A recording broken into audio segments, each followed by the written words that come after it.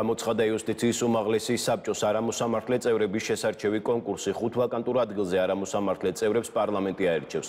კონსტიტუციაში შეტანილი ცვლილებების თანახმად არამოსამართლე წევრის ასარჩევად 90 დეპუტატის მხარდაჭერა საჭირო შეძლებენ თუ არა პოლიტიკური პარტიები არამოსამართლე წევრების კონსენსუსით არჩევას ჯერ უცნობია. აკადემიურ წრეებს, ადვოკატთა ასოციაციებს, არასამთავრობო ორგანიზაციებს და არასამეწარმეო პირებს პარლამენტისთვის კანდიდატების წარდგენის ვადა 20 ოქტომბრამდე აქვთ. კანდიდატების საბუთების კანონმდებლობასთან შესაბამისობის დადგენის შემდეგ არამოსამართლე წევრებს საკომიტეტო ფორმატში მოусმენენ, შემდეგ კი დასამტკიცებლად კენჭ სესიაზე უყრიან. იუსტიციის უმაღლეს საბჭოში რომ არჩეული იქნეს არამოსამართლე წევრი, საჭირო 90 ხმა.